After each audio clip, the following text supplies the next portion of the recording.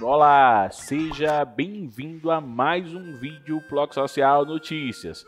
O cantor sertanejo Giovanni Sales foi encontrado morto dentro de um carro alugado em Belo Horizonte. Quer saber tudo? Então curte, comenta, compartilha, se inscreve no canal Bloco Social Notícias começando.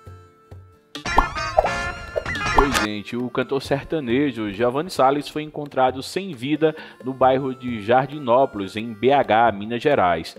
Ele estava dentro de um carro no banco do motorista. O caso aconteceu na madrugada dessa segunda-feira, 27, dia em que ele faria 30 anos de idade.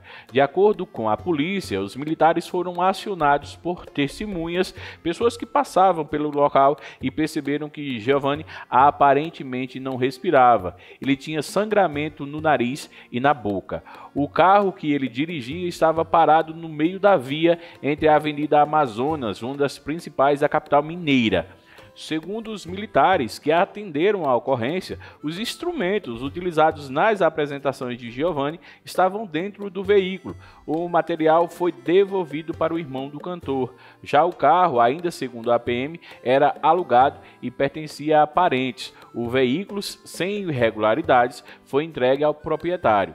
As polícias não encontraram sinais de violência. Socorristas do SAMU constataram a morte do músico.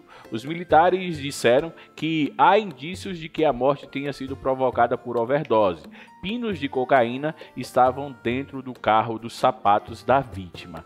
É muito triste. Curte, comenta, compartilha. Bloco Social Notícias.